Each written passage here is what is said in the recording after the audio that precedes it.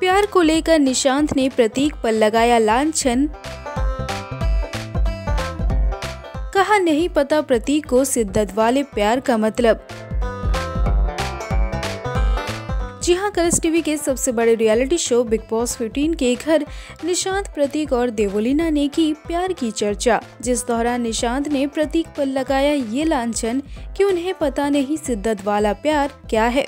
जिससे प्रतीक हुए असहमत। दरअसल बिग बॉस 15 के कंटेस्टेंट निशांत प्रतीक और देवोलिना कर रहे थे प्यार पर डिस्कशन जिस दौरान प्रतीक लव को लेकर अपने एक्सपीरियंस निशांत से शेयर करने पर निशांत ने कहा कि प्रतीक को लव का मतलब नहीं पता, या फिर शिद्दत वाला लव उन्हें हुआ नहीं, क्योंकि जब भी प्रतीक को लव हुआ या फिर वो सीरियस रिलेशन में गए तो वो पूरा जग ज़ाहिर हो गया। लेकिन निशांत के लिए ये प्यार नहीं। उनका प्यार शिद्दत वाला है, जो उन तक ही सीमित रहे। ऐसे दुनिया के सामने न आए।